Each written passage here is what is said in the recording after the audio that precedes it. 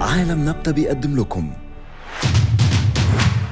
عالم ال stop motion هنعيش مغامرات متحركة بال Play-Doh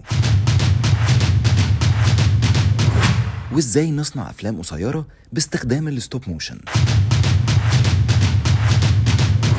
جاهزين؟